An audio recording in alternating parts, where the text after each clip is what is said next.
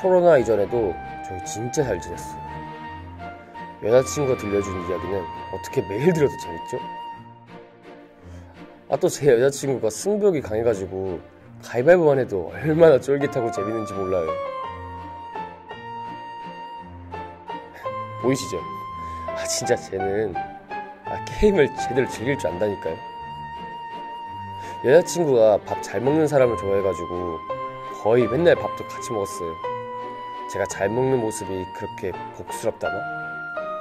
하여튼 코로나 이전에는 여기저기 돌아다니면서 맛있는 음식 많이 먹고 다녔던 것 같아요.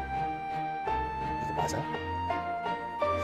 저희가 또 워낙 활동적이라 야구장도 같이 가고 노래방에서 거의 뭐 단독 콘서트 열었었죠.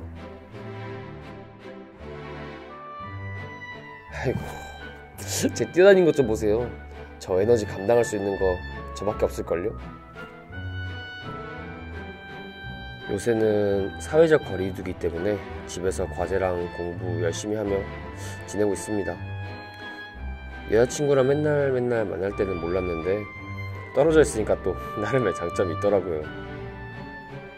더 애틋해지고 보고 싶은 마음이 가끔 앞서기는 하지만 멀리서 보아도 예쁘고 가끔 보아도 여전히 사랑스러운 제 여자친구. 요즘은 특히 더 그렇습니다.